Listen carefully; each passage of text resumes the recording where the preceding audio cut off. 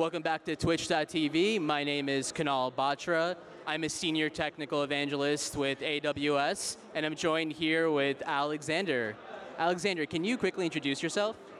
Hi, Kunal. Uh, my name is Aleksandar Simovic. I am a senior software engineer at Science Exchange, uh, AWS Serverless Hero, and uh, one of the authors behind serverless applications with Node.js.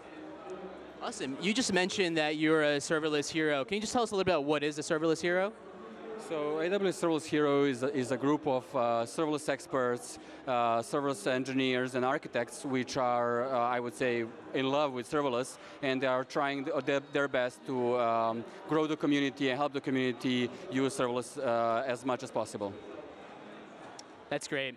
So you recently co-authored a book on building serverless applications with Node.js. Can you tell us a little bit about that process and was it similar to building serverless applications in general?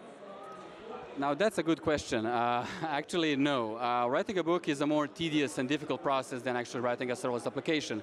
So serverless applications are very easy to develop and deploy, while book is, I would say, a very long process and a very difficult one. Can you talk a little bit about what you learned while writing that book? So while writing the book, uh, we learned that the focus is on the business value. So what is the value we are providing to our customers? And serverless actually is that. So serverless provides incredible value to, to the customers and people who are actually building that, building uh, with serverless. So yeah, that was the main thing we discovered.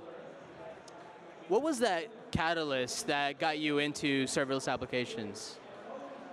Hmm, well, there are actually two stories. The first one is, as I mentioned, the business value of serverless. So I was able to develop, deploy, test, and experiment with different things very, uh, very fast, very quick. But the other one was actually, uh, the other one was that a friend of ours, he came to our meetup early 2015, and he basically just you know talked to us about uh, infrastructure where you you know pay zero for it, and uh, we were like, how does it happen? So in that sense, we looked at it and we immediately fell in love with serverless. That's awesome. And to turn that around, what tips would you give now to someone new getting started with serverless? I would say just start. Uh, you will immediately see the benefits of serverless, how quick and uh, how fast you are to build and deploy applications. Awesome. And then uh, one last question over here. I know you're an avid contributor to the AWS serverless application repo. How do you choose what components to open source and commit? Um, I'm focusing on what brings the biggest value and the, the biggest uh, the biggest benefit to other fellow developers. So if I'm doing an application that's for shipping, I would say I would extract a certain part which is for shipping and uh, make it uh, make it publicly available and uh, shareable on serverless application repository. This way, everybody benefits the most. That's great to hear. Well, Alexander, thanks for joining us, and uh, back to you guys.